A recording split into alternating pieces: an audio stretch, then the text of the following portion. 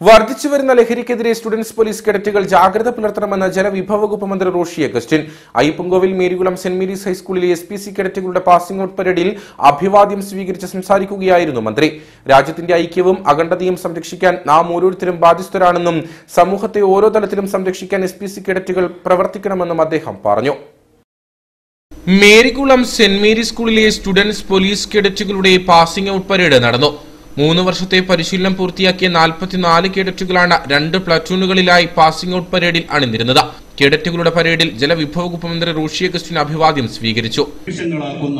ഈ ധന്യമുഹൂർത്തത്തിന് സാക്ഷ്യം വഹിക്കുവാൻ കേരളത്തിന്റെ ആദരണീയനായ ജലവകുപ്പ് മന്ത്രി ഇതാ കേഡറ്റുകളുടെ ഇൻസ്പെക്ഷൻ നടത്തിക്കൊണ്ടിരിക്കുകയാണ്.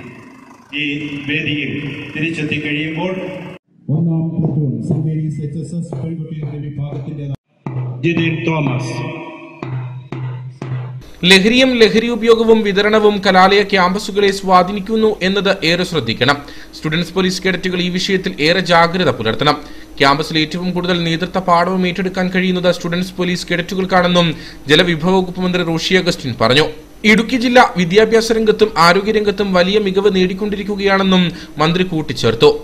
നമ്മുടെ ജില്ലയെ സംബന്ധിച്ചിടത്തോളം നമ്മുടെ ജില്ലയിലെ വ്യത്യസ്തങ്ങളായിട്ടുള്ള ഓരോ വിഷയങ്ങളും നമ്മൾ ചർച്ച ചെയ്യപ്പെടാറുണ്ട്.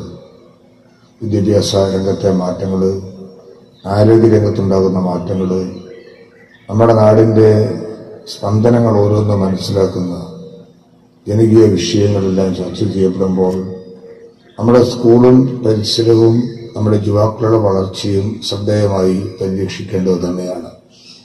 സമീപകാലങ്ങളിൽ ഉയർന്നു വന്നിട്ടുള്ള ലഹരിയും ലഹരിയുടെ ഉപയോഗവും അതിന്റെ വിതരണവുമെല്ലാം കലാലയ ക്യാമ്പസുകളെ ഏറെ സ്വാധീനിക്കുന്നു എന്നുള്ള വാർത്ത നമ്മൾ ശ്രദ്ധിക്കാറുണ്ട്.